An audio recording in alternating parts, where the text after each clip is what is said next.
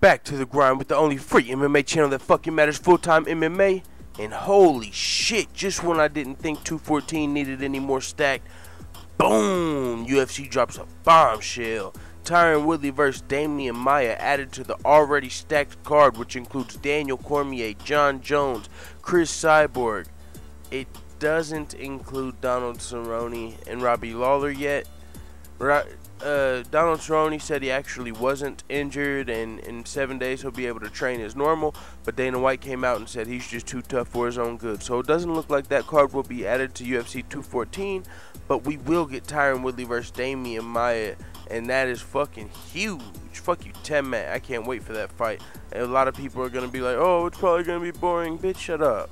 Don't watch that fight. Go fucking go do something during that fight, dude. Go go fuck do something, dude. I'm gonna be watching. I'll tell you that much. If you, I mean, it's that simple. If you're not entertained, I mean, to, I, am I'm, I'm entertained by fights, bro. Some, yeah, some fights don't turn out to be have the most entertaining result, but I'm still watching them, and that's just how I feel. So, uh, I like fucking, I like this fight a lot. Tyron Woodley, one of my favorite fighters. Demian Maia, one of the most underrated fighters in the game, just because he doesn't talk a lot of trash. So a lot of people, um, he's he's one of the top contenders, and a lot of people don't put put enough respect on his name. I got respect on Demian Maia's name. However, I do not think he will be able to get the job done against Tyron Woodley. I actually got Tyron Woodley winning this fight. I don't know exactly how, but in in my head, just before the fight, I'm seeing it going. Cause this is what I'll say. Demian Maia just struggled to get Jorge Masvidal out of the fight. Decision on Jorge Masvidal had good position on Jorge Masvidal was unable to get the finish. Jorge Masvidal is just smaller than Tyron Woodley.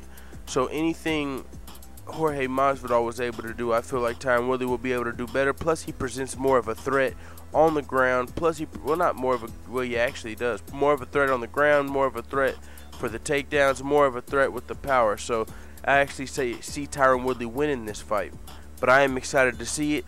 And yeah, that's what I'll say on this fight because one or two more videos and it's bedtime. I got work in there. So I don't know what else to say, man. It is what it is.